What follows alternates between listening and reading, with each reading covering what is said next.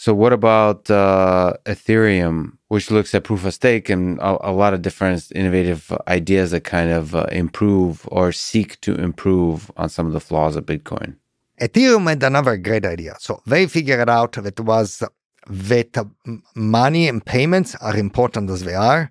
They are only the first level, the first stepping stone.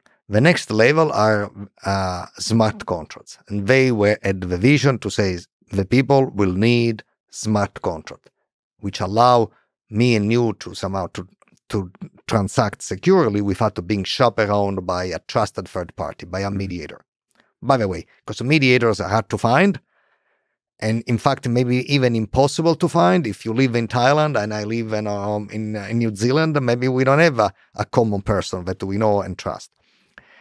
And even if we find them, guess what? They want to be paid. So much so, right, that uh, six percent of the of the world uh, GDP is uh, goes into financial friction, which is essentially third party.